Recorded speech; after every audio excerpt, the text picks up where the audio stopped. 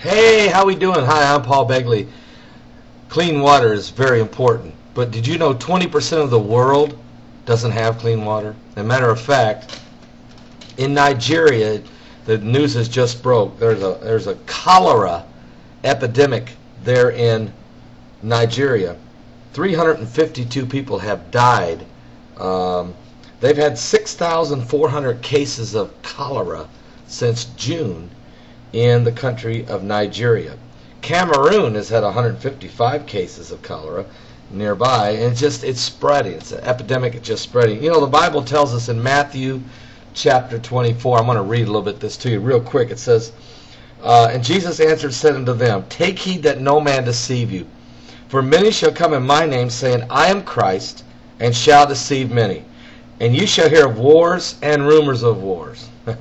See that you be not troubled, for all these things must, must come to pass, but the end is not yet. Here's why. For nation shall rise against nation. Is that today? Kingdom against kingdom. Is that today?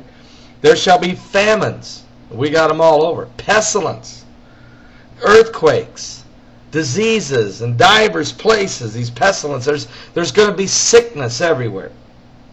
But all of these are the beginning of sorrows. You see, the world, woe unto the world, as these catastrophes, natural disasters, you know, the 72 bodies found there in Mexico, a drug cartel, drug cartels killed them. In Iraq, in Iraq today, a bombing killing 55. You got 350 people dying in Nigeria from cholera. You got 1,600 people dying from the floodwaters in Pakistan. You got 20 million people in Pakistan right now homeless with disease spreading. You got a war going on in Afghanistan right now as the Taliban have oppressed their people.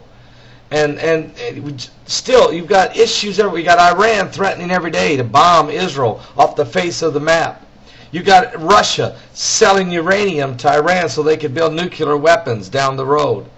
You've got Hezbollah saying to Iran, sell some uh, weapons to uh, Lebanon so we can shoot rockets into Israel. You got Israel threatening every day to have to do a preemptive strike on Iran. You've got America who's got their fingers in just about every pie. And while that's going on, Russia's flying jets over by the Canadian border.